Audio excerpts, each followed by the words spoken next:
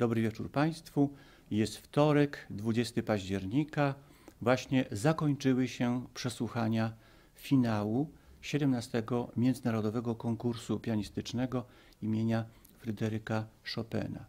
Y, część słuchaczy czeka w tej chwili na ogłoszenie werdyktu jury, a ja pozwolę sobie odnieść się do tych trzech interpretacji, które dzisiaj nas zadziwiły. Y, na wstępie tego koncertu wystąpił Charles Richard Amelin, pianista kanadyjski, o którym tutaj już sporo Państwu mówiliśmy. Y, przez te trzy etapy ukazał też swój portret artystyczny, ale zgodnie z tradycją tych omówień finałowych chciałbym słowo poświęcić jego genealogii. Chciałbym wskazać, z jakiej tradycji pianistycznej pan Richard Amelin wyrasta. Otóż jego pedagogiem miał kilku pedagogów, ale dwóch wydaje się odegrało kluczową rolę w jego formacji. Jednym z nich był Boris Berman, którego wychował Lew Oborin, słynny pianista rosyjski, zdobywca pierwszej nagrody na pierwszym międzynarodowym konkursie pianistycznym imienia Fryderyka Chopina w 1927 roku. Lwa Oborina z kolei wychował Konstantin Igumnow. Igumnow był uczniem Aleksandra Silotiego, a Siloti był kształcony przez samego Franciszka Lista. Tak więc tu mamy pewną linię tradycji wiodącą od pana e, Richarda Amelin aż do Franciszka Lista, ale jest jeszcze druga linia, którą wyznacza jego drugi pedagog, André Laplante, świetny pianista, zdobywca mm, głównych nagród na wielu poważnych konkursach muzycznych. E, zwyciężył m.in. Mm, w Genewie, w Sydney, mm, na konkursie Margarety Long i Jacques Thibault w Paryżu, a na konkursie e, Piotra Czajkowskiego w Moskwie obok Michała Pletniowa zdobył drugą nagrodę. Ten właśnie pedagog André Laplante porównywalny jest, porównywany jest z Aszkenazym i Chorowicem. Tak więc jest to znakomita pianistyka. Jego z kolei kształcił Sasza Gorodnicki, a Saszę Gorodnickiego Józef Lewin, ten geniusz pianistyczny, który wraz ze swoją żoną Rozyną implantował tradycję pianistyki rosyjskiej, tej wielkiej pianistyki romantycznej na grunt amerykański.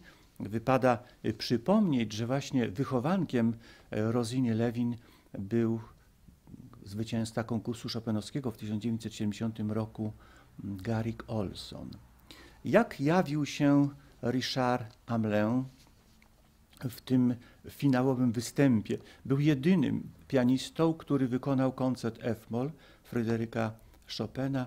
Ten cudowny koncert, który swą premierę e, przeżył 17 marca 1830 roku w Teatrze Wielkim, tutaj niedaleko obok Filharmonii Narodowej, dyrygował wtedy Karol Kurpiński. A Maurycy Mochnacki, też wybitna postać świata kultury, warszawskiej tamtego okresu, zresztą nie tylko świetne pióro, literat, ale także pianista, grywał z Fryderykiem Chopinem na cztery ręce, pisał, że ten koncert, koncert F-moll jest całkowicie oddany geniuszowi muzyki. Do dzisiaj, cytuję jego słowa, jest nowy, świeży, słowem natchniony. Ten typ y, osobowości który reprezentuje pan Charles Richard Amelin, wydaje się trochę jakby, no nie powiem, że nie pasuje, ale nie w pełni harmonizuje z duchem tego koncertu. E, pamiętacie Państwo, jak scharakteryzowałem jego wykonanie sonaty Hamol w trzecim etapie? No, grał bardzo dużym dźwiękiem. To jest taki pianista e, na wielką salę. Operuje szerokim gestem. Czasem jest to dźwięk za duży, za bardzo obciążony, czego przykład stanowiło wykonanie poloneza Fismol e, w poprzednim etapie. Ale ten duży gest, on nie przeszkadza w konstruowaniu bardzo zwartej, integralnej formy. Ja nawet porównałem tę kreację sonaty Hamol do takiej wspaniałej bryły wykutej w marmurze. No jeżeli chodzi o jego występ w finale z koncertem F-moll, to można powiedzieć tak, że jest to gra na pewno fonogeniczna. To znaczy ona sprawdza się w nagraniu, nic nie traci albo też niewiele traci e, przy pośrednictwie mikrofonu, w przeciwieństwie do tej gry szalenie kolorowej, poetycznej, e, której mm, no, nie wszystkie zalety potrafi ująć właśnie nagranie. Jeżeli chodzi o tę proporcję między czynnikiem wirtuozowskim a poetyckim, to wydaje się, że jednak przeważał czynnik wirtuozowski. Bardzo ładnie, tak poruszająco zarysował ten recytatyw, który przerywa nastrój nokturnu w cudownym larghetto. Potem zarysował łącznik i wprowadził powrót tematu. Dźwięk był perlisty, sypki, taki właściwie mm, no, błyskotliwy, ale można byłoby oczekiwać jakby większej mm, giętkości agogicznej. Y, wypadałoby też y, no, nadać bardziej taneczny charakter tej trzeciej części. To jest w końcu jednak kujawiak. No i przy tych powtórzeniach zwrotów wielokrotnych powtórzeniach charakterystycznych dla narracji Fryderyka Chopina oczekiwałoby się do jakiegoś różnicowania tej właśnie y, różnorodności, varietas, tak potrzebnej dla muzyki Fryderyka Chopina. Tyle mogę powiedzieć o występie, w jedynym występie w finale z koncertem F-moll pana Charles Richarda Amelin. Proszę Państwa, ja, jak Państwo zauważą, zauważyli, sporo miejsca w tych omówieniach finałowych poświęcam pedagogom. Dlatego, bo przecież nie byłoby tych pianistów, tych wspaniałych talentów, tych niezwykłych osobowości, które tutaj na tym konkursie spotykamy, gdyby nie ich wielcy pedagodzy. Powiedziałem wcześniej, że pedagogika artystyczna jest swego rodzaju twórczością, a więc taką twórczością, w której jeden człowiek tworzy artystę w drugim człowieku. Skoro zatem ów drugi człowiek, uczeń, jest dziełem swojego mistrza, no to z natury rzeczy ten mistrz obecny jest w jakimś stopniu w tym swoim dziele. Każdy artysta, nosi w sobie swojego mistrza. Ja powiedziałem też, powołując się na taką myśl późnoantycznego retora, że jeśli ktoś pouczony został przez drugiego, to nazywa się go synem, a tamtego ojcem. I powiedziałem, że ta relacja pokrewieństwa, ona rozciągać się może na kilka pokoleń. I otóż dowiedziałem się y, wczoraj dopiero od pana profesora Piotra Palecznego o drugim pedagogu, niewskazanym niestety mm, w biogramie mm, pianisty koreańskiego Song Jin Cho, bo powiedziałem Państwu, że jest on wychowankiem Michela Beroffa mm, z francuskiego konserwatorium, a więc dziedziczy tę tradycję cudownej kolorystyki dźwiękowej, którą przekazała Beroffowi legendarna Yvonne Loriot. Rzecz w tym, na co wskazał właśnie profesor Piotr Paleczny, za co tu serdecznie mu dziękuję, że Song Jin Cho miał też cudownego pedagoga, zanim pojawił się w konserwatorium paryskim. Była to pani profesor Su Jung Shin. Posłuchajcie Państwo, jakiej tradycji pianistycznej poprzez swoją nauczycielkę w Seulu, jakiej tradycji pianistycznej jest dziedzicem pan Song Jin-cho. Otóż pani y, Jung-shin kształciła się pod kierunkiem Leona Fleischera, genialnego pianisty, także później dyrygenta. Leon Fleischer był uczniem Artura Schnabla, a Artur Schnabel był wychowankiem Teodora Leszetyckiego, Polaka, który był pierwszym profesorem powołanego do życia przez Antoniego Rubinsteina konserwatorium w Petersburgu. To był bardzo młody wtedy profesor. Potem działał w Wiedniu i tam właśnie wykształcił Artura Schnabla, ale także Ignacego Paderewskiego, ale także y, Ignacego Friedmana. A więc proszę zobaczyć, że od polskiego pedagoga Leszetycki, Schnabel, Fleischer, pani Su Jing y, Shin y, idzie ta tradycja do Song Jin Cho. Łamie się język na tych nazwiskach koreańskich, ale trzeba sobie je wbić w pamięć, bo to są bardzo ważne nazwiska. Rzecz w tym jednak, że pani Su Jing Shin była również uczennicą Wilhelma Kempfa. Kempfa z kolei kształcił w Berlinie Heinrich Barth, ten sam, który wychował Artura Rubinsteina. A Heinrich Barth kształcił się pod kierunkiem polskiego genialnego wirtuoza Karola Tauziga, tak cudownego, że właśnie jego wirtuozeria zainspirowała Brahmsa do skomponowania genialnego dzieła wariacji na temat Paganiniego. No a Karol Tausig był ukochanym uczniem e, Franciszka Lista. List traktował Tauziga syna. A więc List, Tausig, Barth, Wilhelm Kempf, Su Jung-shin i znowu Cho. Proszę zobaczyć, że dwie linie tradycji pianistycznej wiodą do pana Cho, znakomitego pianisty tego konkursu, a przy okazji dwóch Polaków jest tam w tym odległym właśnie ciągu tradycji. Teodor Leszetycki i Karol Tauzik. Tak to się prezentuje. Przejdźmy teraz do drugiego wykonawcy dzisiejszego wieczoru, Dmitrij Szyszkin, 23-letni rosyjski pianista. No tutaj tradycja pianistyczna, e, ta linia e, jest krótsza. On jest wychowankiem Elizo Wirsaładze, ona z kolei kształciła się pod kierunkiem Jakowa Zaka, zdobywcy Grand Prix na trzecim konkursie chopinowskim w Warszawie 1937 roku.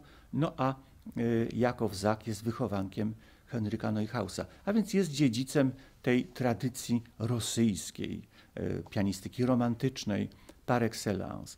Niestety chyba nie wszystkie cnoty i wartości tej tradycji, piękny dźwięk, legato, śpiewność, e, pięknie kształtowana forma, nie wszystkie cnoty jakoś ujawniają się w grze pana Dmitrija Szyszkina, bo ja Państwu zwróciłem uwagę na jego występ w drugim etapie, pancernie brzmiąca ballada F-tur. No, oczywiście znakomicie, fenomenalnie wykonana etiuda mm, Amol, opus 10 numer 2, mm, ta chromatyczna, ale z kolei sonata bemol no, bombardował po prostu dźwiękiem tego Chopina. I powiedziałem, że dziwi mnie to, bo z drugiej strony, grając całą serię impromptu Chopinowskich w trzecim etapie, pokazał, że potrafi operować wyrafinowaną dość paletą y, kolorystyczną, dźwiękową, także środków wyrazu, a jednak tak się troszkę szamotał pomiędzy tym wyrafinowaniem i czymś na skraju barbarzyństwa. Wobec tego nie dziwicie się Państwo, że z obawą oczekiwałem pojawienia się tego artysty w koncercie Fryderyka Chopina. No i oczywiście y, te obawy były uzasadnione. Y, ja wczoraj powiedziałem, że koncert jest takim zderzeniem dwóch żywiołów. Powołałem się oczywiście na myśl pana profesora Mieczysława Tomaszewskiego. Z jednej strony mamy żywioł gry, a więc wirtuozowstwo, bardzo uszlachetnione, e, to wirtuozowstwo stylu Briand podniesione na bardzo wysoki poziom, e, taki, gdzie już nie chodzi o demonstrację dzielności ręki pianisty, ale chodzi o budowanie pewnych nastrojów, pewnych emocji. A więc z jednej strony wirtuozowstwo, a z drugiej strony ta poezis dźwiękowa, poetyczność, prawda?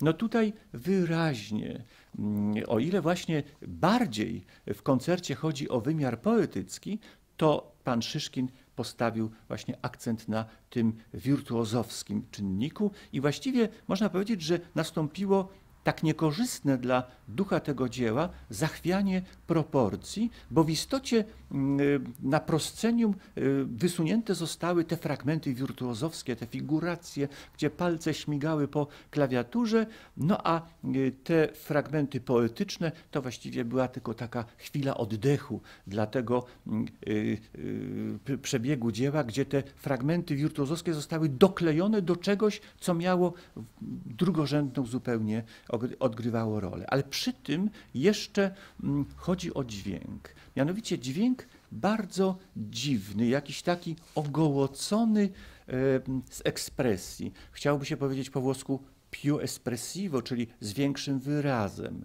Chciałoby się powiedzieć też w odniesieniu szczególnie do części śpiewnych mm, più caloroso, bardziej ciepłym dźwiękiem più misterioso, to znaczy wnikając w misterium poezji, prawda, w ducha tego dzieła, czy wreszcie più espressivo, czyli z większym wyrazem.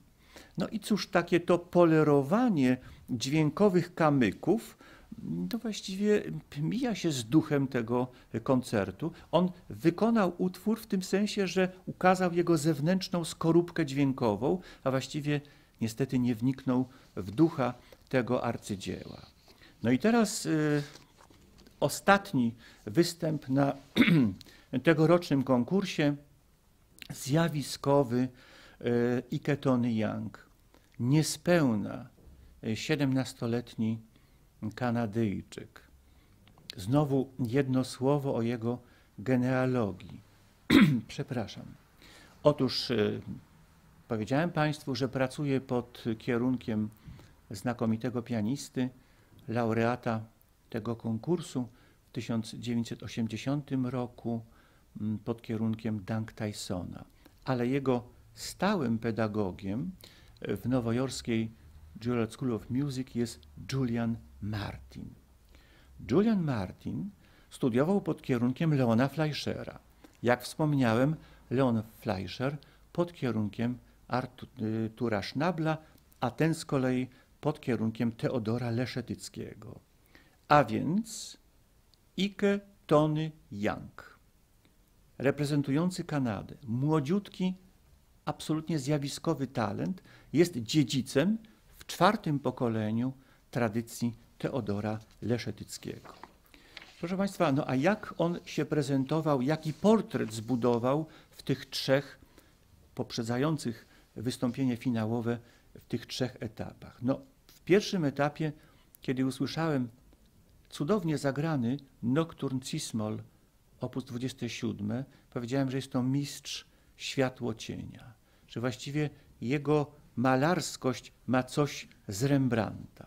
Cudownie zagrał Barcarole w drugim etapie, Scherzo Cismol, porywające wykonanie, olśniewająca kreacja w polonezie Azdur, przepięknie zarysowana ballada F-moll, bolero, amol w trzecim etapie, olśniewające, szlachetnością y, właśnie tego czynnika wirtuozowskiego. To jest taka absolutnie noblesse, szlachetność muzyczna. No i wreszcie ta mm, niezwykła sonata bemol, która z całą pewnością przejdzie do legendy tego konkursu, gdzie w tych pierwszych dwóch częściach, tak straszliwie trudnych technicznie, pianistycznie mieliśmy wrażenie, że rozgrywa się walka tytanów.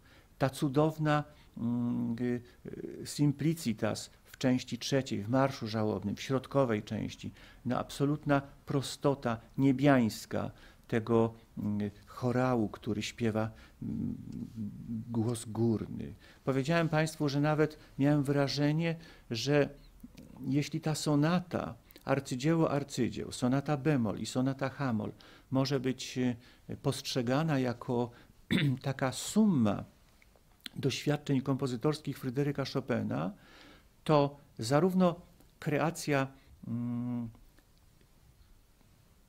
Kate Liu w sonacie Hamol, jak i Iketony Younga w sonacie bemol było zbudowaniem katedry, katedry dźwięku Fryderyka Chopina.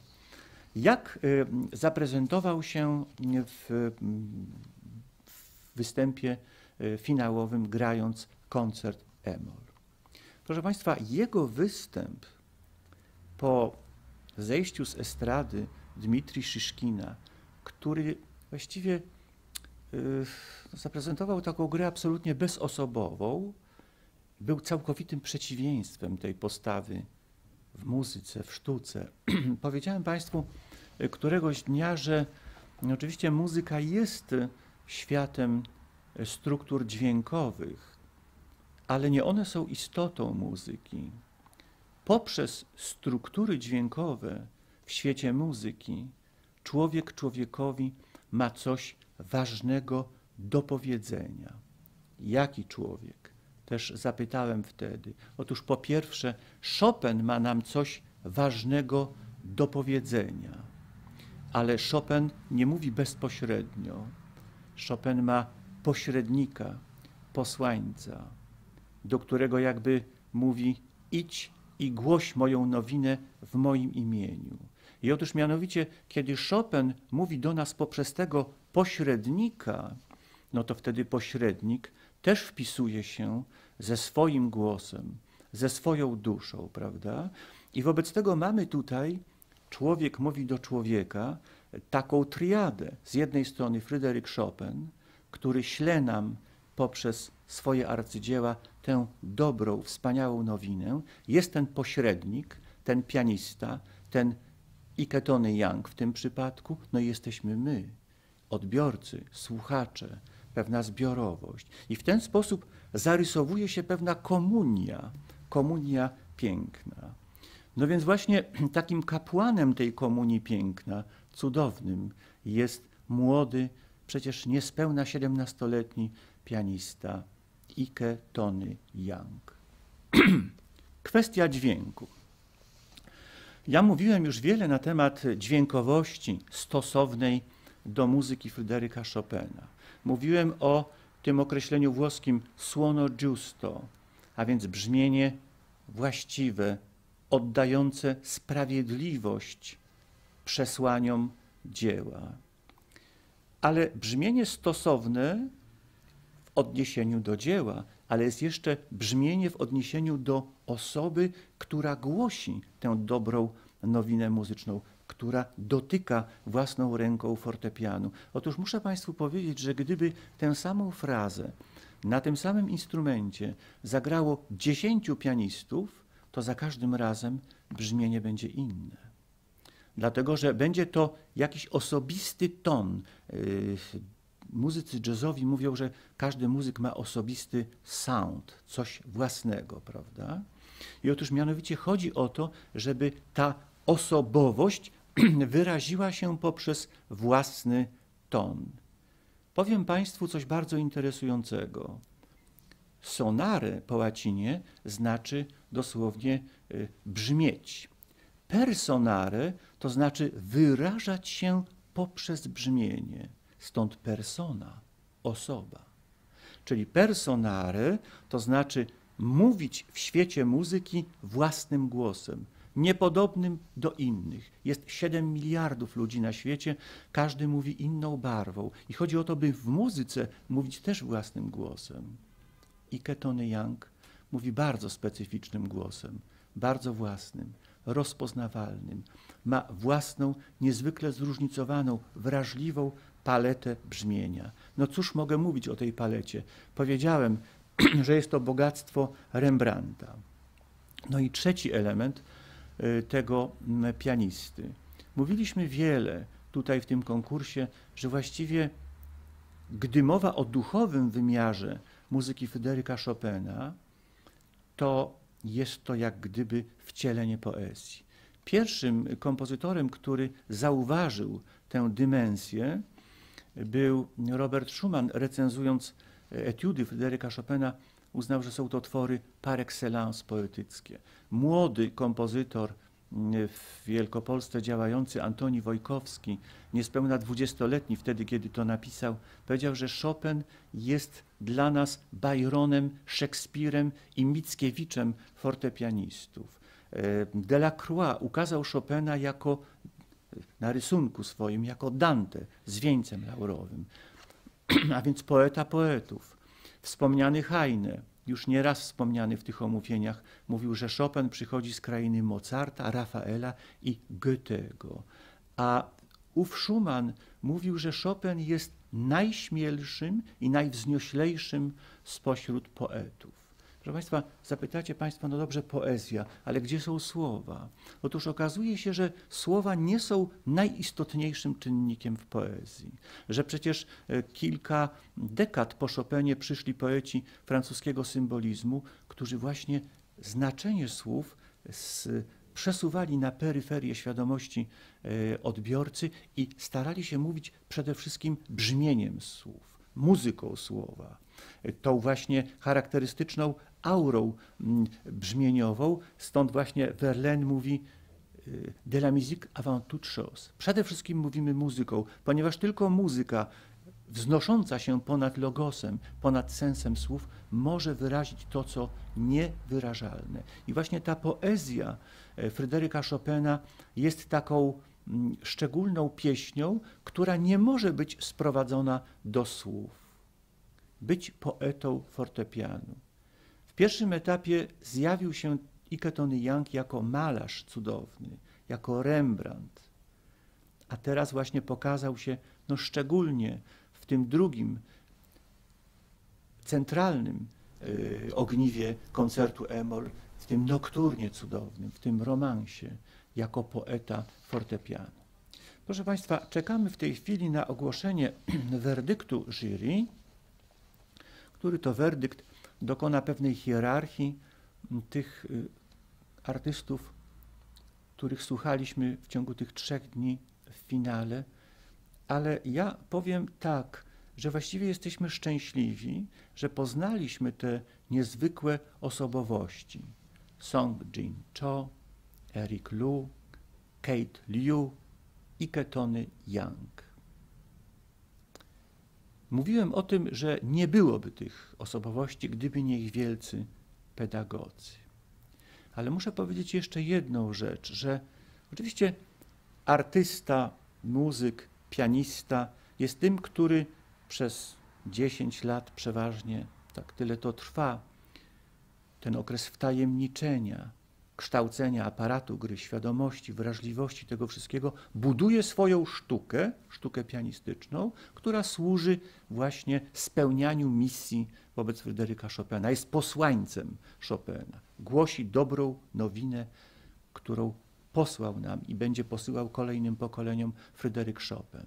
Więc on tworzy pewną sztukę, ale również przez to, co zbudował w sobie, jest sam sui generis dziełem sztuki. Jan Paweł II e, w bardzo ważnym tekście, w liście do artystów całego świata, mówi, że każdy człowiek powinien ze swego życia stworzyć arcydzieło. Myślę, że szczególnie dotyczy ten postulat artystów, a więc ludzi obdarowanych szczególnym talentem. Cieszę się, jestem szczęśliwy i myślę, że Państwo również, nawet ci z Państwa, którzy tylko pośredni dostęp mieli do tego konkursu poprzez nagrania wykonań, także poprzez te nasze komentarze. Cieszę się, żeśmy spotkali takie osobowości, jak te wymienione tutaj przeze mnie, i cieszę się, że sam Chopin ma posłańców takiej miary, jakie tutaj pojawiły się na XVII, już pamiętnym, już przechodzącym do historii XVII międzynarodowym konkursie pianistycznym imienia Fryderyka Chopina.